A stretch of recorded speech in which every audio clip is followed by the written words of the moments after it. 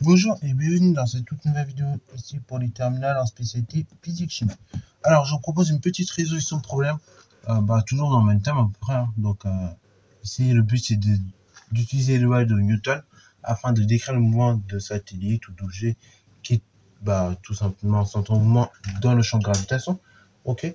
Donc euh, bah, pour y arriver ici on va s'en servir afin de déterminer bah, l'attitude bah, de satellite. Ok? Alors je vais se mettre la vidéo en pause, essayer de réaliser tranquillement cet exo, et ensuite on va tout simplement corriger. Sur ce donc, correction. Alors cet exo, j'ai- j'aime bien parce que justement, il y a beaucoup de choses euh, bah, qui piquent dans cet exo. Et c'est un exo qui revient très très très fréquemment au bac. Ok, c'est le type de question qu'il faut maîtriser. Ok, donc faut maîtriser. Donc là, ça demande une maîtrise quand des transpositions et bah, d'être à l'aise avec euh, bien évidemment les. Ok, donc euh, bah, je vous laisse faire ta vidéo en pause, essayer de lire tout simplement l'énoncé, et ensuite on va tout simplement corriger. Bon, du coup, station euh, spatiale internationale. La station euh, spatiale internationale, ISS, on dit qu'elle gravite autour de la Terre à une vitesse moyenne de 7,66 km par seconde. Elle évolue donc en orbite terrestre basse, zone où l'orbite, ou tout simplement, l'orbite, eh ben, elle peut aller jusqu'à 2000 km d'altitude. On y retrouve donc des satellites de télé détection, des satellites de télécommunication, ainsi que quelques stations spatiales. Ok, donc, eh ben, je vous laisse mettre à vous. Enfin, maintenant, et donc on dit que dans l'appro- dans l'approximation des trajectoires circulaires, déterminer l'attitude petit h de l'ISS. On vous donne un certain nombre de données. Alors là, ce que je vous propose ici, eh ben, c'est peut-être de faire un petit schéma. Ok, ça c'est comme les titrages, il faut faire un schéma. Ça va vous aider. Ok, donc là, je vais le faire vite devant vous. Donc là, on a nos petites planètes Terre avec son rayon, donc RT. Et autour de la Terre, donc on a un petit satellite. Voilà. Donc euh, petit s. Et la distance entre la Terre et satellite, c'est RT plus H. Et donc c'est cette fameuse hauteur petit h qu'on va déterminer dans cet exercice. Ok? Donc bah, pour y arriver, il n'y a pas 150 000 solutions. Et ben on va établir toute la démarche de résolution qu'il faut. Alors première chose, bah, tout bêtement dans ce type d'exercice, on démarre toujours de la même manière.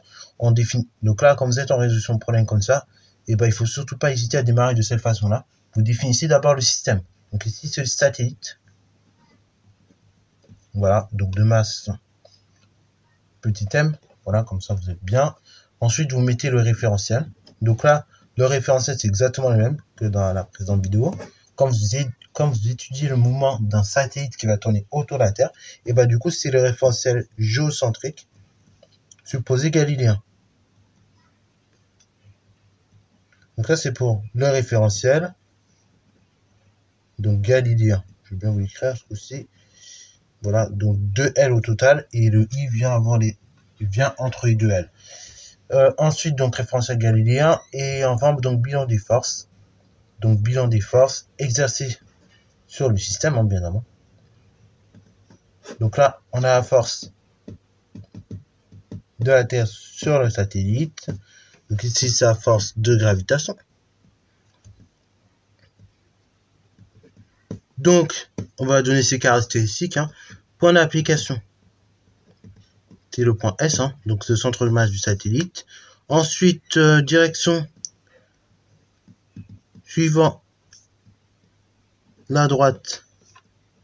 Donc là, je mets mon schéma, hein, c'est S. Mais vous mettez suivant la, mais si vous voulez, vous pouvez mettre la, suivant la droite, reliant les centres de masse euh, de la Terre et du satellite. Ensuite, le sens, bah, du coup, vous mettez du satellite vers la Terre. Alors pourquoi du satellite vers la Terre? On peut se tromper, hein, ça peut arriver. Et bah parce que tout simplement, comme c'est la Terre qui exerce sa force sur le satellite, c'est-à-dire c'est la Terre qui va attirer le satellite. Donc ça veut dire bah la force va bien aller du satellite vers la Terre. Et enfin la norme, bah du coup c'est F de T sur S qui est égal à G fois la masse de la Terre fois la masse du satellite. Donc ici je mets fois grand M fois petit m divisé par la distance séparant la Terre du satellite qui est RT plus H au carré. Alors là, faites gaffe dans ce type d'exercice, on peut se faire avoir bêtement, mais tellement bêtement. C'est dommage. C'est dommage parce que là, vous faites avoir bêtement. Ok? Cet exo, vous faites avoir tellement bêtement parce que vous oubliez le rayon de la Terre. Ok? Vous croyez que c'est juste la distance euh, petit h qu'il faut prendre en compte. Mais non. En fait, on tourne pas autour de la surface, on tourne par rapport au centre de la Terre. D'où référentiel géocentrique d'ailleurs. Donc il faut bien prendre en compte justement la, le de la Terre parce que bah, c'est bien la distance entre le centre de la Terre et la surface. Et après, entre la surface et nos satellites, c'est de là qu'intervient la hauteur petit h. Bon, une fois que j'ai tout ça, et bah dans le second temps, j'applique ma seconde loi Newton, tout bêtement. Donc c'est exactement la même procédure en fin de compte. Hein. Si vous êtes chaud là-dessus, et bah vous êtes chaud pour la plupart des exos méca sur ce chapitre-là. Ok? Euh, Donc bah c'est parti mon kiki. Donc or, alors je vais dire d'après le PFD, pas le plus court, mais PFD c'est le principe fondamental de la dynamique. Donc si vous mettez ça au bac, normalement ça passe. Parce que parfois, deuxième Newton tout le temps là, c'est un peu long. Donc, euh, d'après le PFD, somme des forces extérieures, on a dit la masse du système, petit m, fois son accélération. D'après le PFD. Or, d'après le bilan des forces, donc d'après bilan des forces, eh ben, on peut dire, on en déduit que somme des forces extérieures, bah, la seule force qui va s'appliquer sur un système, bah, c'est la force de la Terre sur le satellite. Donc ceci équivaut à dire que masse du satellite fois son accélération, c'est égal à G fois masse du satellite fois masse de la Terre divisé par la distance séparant la Terre et le satellite. Donc RT plus H au carré. Et ça suivant un vecteur unitaire UN. Alors ce vecteur unitaire UN, je vais pas le prendre n'importe comment. Je vais pas faire comme dans la vidéo courte, j'avais pris un truc trop compliqué. Euh, là, ce coup-ci, vecteur UN, bah, on va le prendre de sorte qu'on ait un repère de freiné. Ok Donc on va le prendre comme ça. Voilà. Vecteur UN. Donc là, comme ça, il part du satellite vers la Terre. Et donc, il sera exactement orienté dans le même sens que la force, qui est bah, dans ce sens-là. Bon, on voit pas très bien. Je vais changer de couleur. Donc bon, là, j'aime... Enfin, je sais pas si ça va très bien. Mais, donc là, on a la force. Hein. Force de la Terre sur satellite, comme ça. Et en, en un tout petit, on a vecteur UN. Et donc, ces deux vecteurs-là, ils sont orientés exactement dans la même direction. Donc, ils sont collinéaires par euh, définition. Donc du coup, ce qui veut donc dire que bah, c'est parfait, on n'aura pas à mettre de moins. Comme ça, on va bidouiller assez rapidement. Et en plus, j'ai bien on le choisit comme ça parce que comme ça, ça permet d'avoir une base de freinée, donc un repère de freinée bah, autour du point S. Donc ce qui n'est pas mauvais mauvais. Au contraire, ça nous fait gagner du temps. Euh, donc du coup, euh, j'ai la base du système membres, je simplifie. Et donc directement, j'en déduis l'expression d'accélération. Donc l'expression d'accélération qui sera toujours la même d'ailleurs, G fois grand M, divisé par RT plus H au carré suivant un vecteur unitaire UN. Voilà, ça j'encadre, j'en aurai besoin dans quelques secondes. Euh, donc on y va. Or, d'après, enfin, or par définition, dans le repère de Freinet, donc le repère de freinage, j'indique.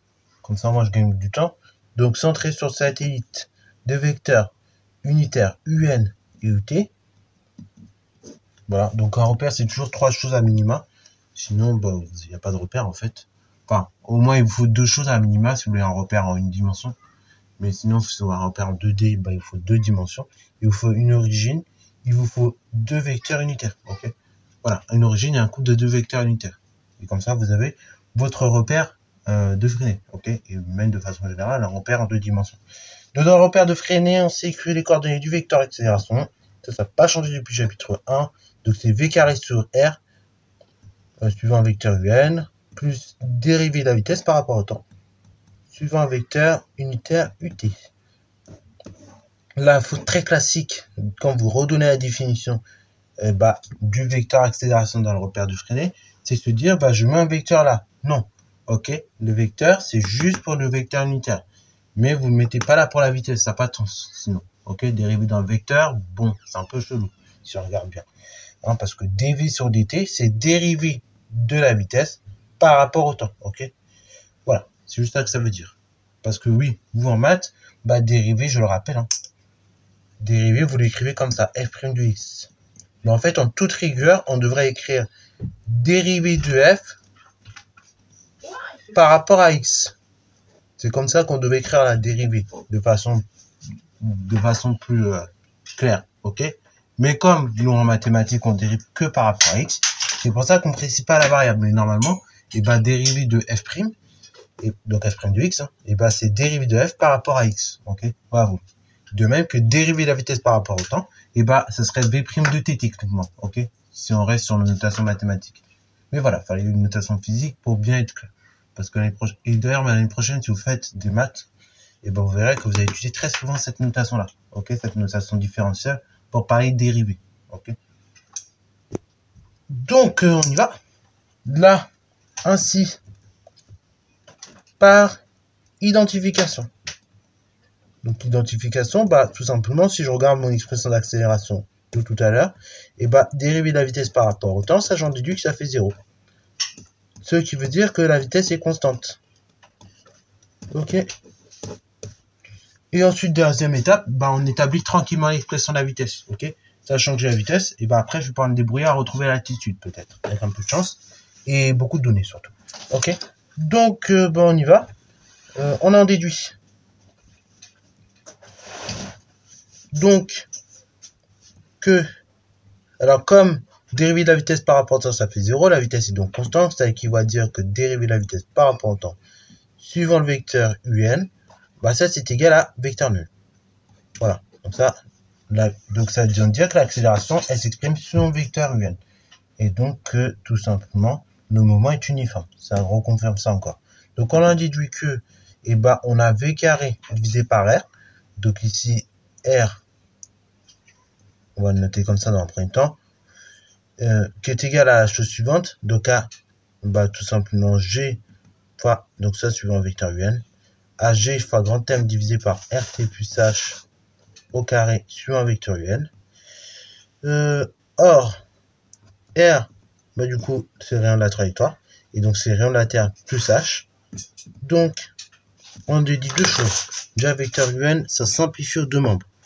Et donc, j'en déduis que j'ai V carré sur R donc RT plus H même, qui est égal G fois M euh, divisé par RT plus H au carré.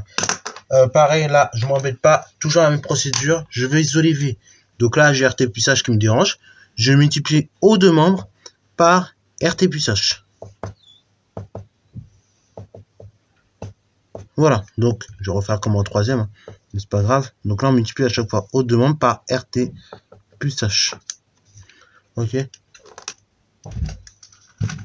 Donc ça fait V carré égale G fois grand M divisé par RT plus H. Ok, parce que quand je multiplie par RT plus H sur la deuxième fraction, et eh ben j'aurai RT plus H divisé par RT plus H au carré. Je simplifie, bah ça me fait RT plus H. Donc ceci équivaut à V qui est égal, bah là pareil en physique, donc une vitesse est toujours positive. Donc là, vous embêtez pas, vitesse toujours positive. Bah vous avez le carré de la vitesse, vous voulez la vitesse vous faites racine carrée bah, de tout ce qui est au membre de droite. Donc j'ai fois grand M divisé par RT plus H. Alors on aurait pu garder cette expression là aussi. Voilà, je vais l'encadrer, ça me servir. Parce que maintenant le but c'est de retrouver non pas la vitesse, mais donc le but c'est de retrouver le petit h. Ok. Donc là il faut être à l'aise un minimum avec les carrés et tout ce qui va suivre. Ok?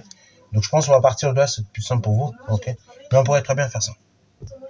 Euh, alors, du coup, maintenant, on va donc chercher petit h. Donc, on met ce que nous avons. On a la vitesse, donc c'est 7,66 euh, km par seconde. Bon, ça, c'est pas mal, parce que pour convertir ça, c'est très rapide. Là, vous avez des km par seconde, vous voulez des mètres par seconde, et ben vous multipliez par 1000 pour avoir des mètres par seconde. Donc ça, c'est 7,66, 10 puissance 3 mètres par seconde. Euh, deuxième chose, donc vous avez le rayon de la Terre. RT. Donc là, on vous a donné avec combien de chiffres significatifs? Donc deux chiffres significatifs. Ça fait 6,010 puissance 24 eh ben, km. Ok. Euh, non, pardon. Ça, c'est la mauvaise donnée. Donc RT, c'est 6,4 10 puissance 3 km. Ça fait donc 6,4 10 puissance 6 mètres. Et là, donc l'autre donnée, c'est la masse de. Donc grand M est égal à MT. Donc là, ça vaut 6,0 par contre, 10 puissance 24 kg. Donc là, on laisse tel quel. Euh, on vous a donné grand G.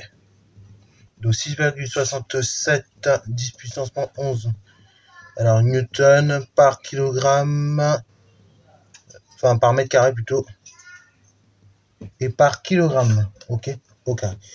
Voilà, donc on a ça, on a le rayon de la Terre, a tout ce qu'il nous faut maintenant. Donc, on rappelle l'expression de la vitesse. Or, on a dit que V, c'était racine carrée de G fois la masse de la Terre, divisé par RT plus H. On va élever au carré.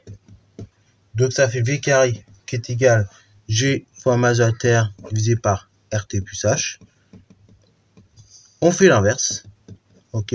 Donc, je veux dire que 1 sur V carré, c'est égal à RT plus H euh, divisé par G fois MT. Moi, le but, c'est d'obtenir la hauteur. Ok. Donc, moi, bah, je m'embête pas. Ok. Comme je veux la hauteur. Et ben, on peut faire un produit en croix. Ça va nous démêler un peu.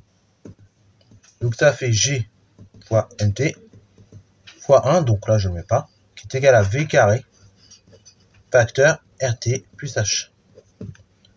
Après, moi, je veux RT plus. Donc, dans le premier temps, j'isole RT plus H. Donc, RT plus H. Et bah, ce qui me dérange, c'est le V carré. Donc, je vais diviser par V carré. Ça fait G fois MT divisé par V carré. Moi, je veux petit h. Donc, je dis que petit h, c'est G fois MT divisé par V carré moins RT.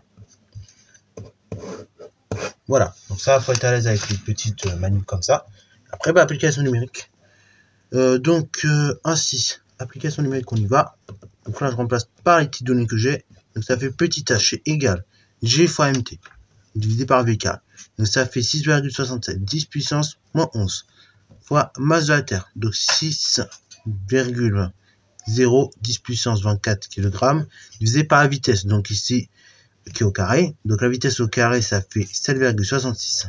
10 puissance 3. Le tout au carré moins RT, rayon de la Terre. Donc 6,4, 10 puissance, euh, 10 puissance 6 mètres. Alors là, pareil, faites-le d'abord à la main, le calcul, tapez-le à la main. Et après, pour être sûr de ne pas avoir d'erreur, retapez-le à la calculatrice. Au moins, vous êtes sûr de faire moins d'erreurs, parce que c'est quand même un calcul lourd. Donc ceux qui le tapent avant de le faire, j'ai du mal à comprendre. Donc, du coup, ça me donne la chose suivante. Donc là, le résultat, j'arrondis à deux chiffres significatifs. Donc ça fait 4,2 puissance 5 mètres pour petit h, qui veut dire 4,2 10 puissance 100. Donc ici, euh, on a dit 2 km.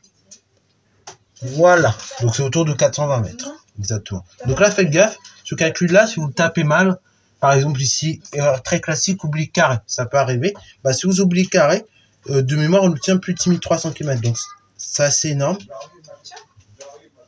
Après aussi l'autre erreur classique, c'est ici, oublier convertir. Ça c'est très classique. Si vous oubliez convertir, vous êtes sûr à tout casser bah, de vous tromper dans le résultat. Donc là, faites gaffe. C'est vraiment dommage bah, de se tromper juste en erreur de croissance. Parce qu'une transport comme ça, si vous la maîtrisez, je sais bien. Mais si malheureusement le résultat, l'erreur c'est pas bon, enfin dans le résultat, on s'aperçoit que vous êtes trompé bah on vous mettra pas tous les points. Voilà. Donc c'est tout pour cette vidéo. J'espère qu'elle t'a plu. Comme d'habitude, n'hésitez pas à commenter et bonne à toi en mathématiques et en sciences.